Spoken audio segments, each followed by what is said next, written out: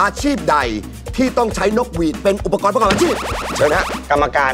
กรรมการเมย์กรรมการกีฬาให้ครับครูนี่ครับ ลูกเสือ ลูกเสือไม่มี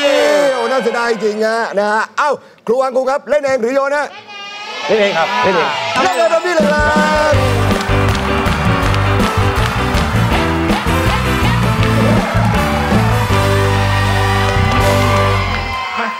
เล่นเองก็ระวังดีๆนะ โดนขโมยได้อีกนะระวังนะฮะ ลองนึกดูโอ้ยอาชีพที่มีนกหวีดพกเป็นแบบเป็น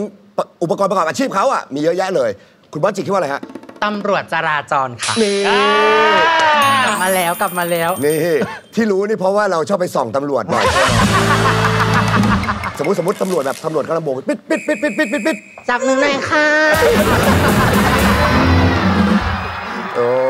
เห็นเห็นตำรวจหล่อไม่ได้นะเนี่ยฮะ อยากจะเป็นคนร้ายโอ้โหแต่วันนั้นไปเจอไปเจอสับเปลือหล่อโอ้อยากกลายเป็นศพ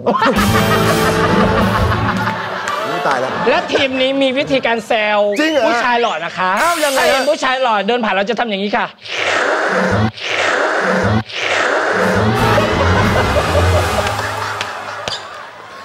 เป็นผมผมเจออย่างนี้ผมวิ่งจริงๆอะผมวิ่ง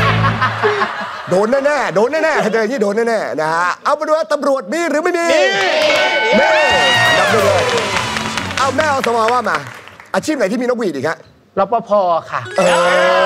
อเอ้าไหลต่อมา ครูอาร์ตครับ เราอย่ามองข้ามอาชีพเราเราเป็นครูครูพละค่ะ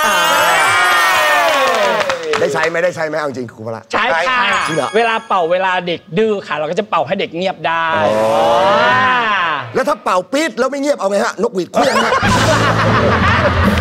อันนั้นเป็นความในใจนะคะจริงค่ะอ๋อแต่ทำไม่ได้ได้แต่คิดได้แต่คิดเอามาดูว่าครูพละมีหรือไม่มีมีมีเอาเหลืออยู่นั้นหนึ่งข้อนะฮะ ถ้าตอบแล้วมีขึ้นมาทีมเราได้คะแนนทั้งหมดไปเลย ครูอังคุงครับ อาชีพใดที่ต้องใช้นกหวีดเป็นอุปกรณ์ประกอบอาชีพครับเอาเร็วฮะมีไหมฮะโค้ชกีฬา โค้ชกีฬาเออโค้ชของนักกีฬานะฮะถ้ามีนะฮะทีมเราได้คะแนนทั้งหมดไปเลยเรียกได้ว่า โอ้โห แก๊งแม่แม่ๆไม่ได้ขโมยไม่ได้ปรึกษากันเลยด้วยนะฮะมาลุ้นกันดีกว่าครับ โค้ชกีฬามีหรือไม่มียังไม่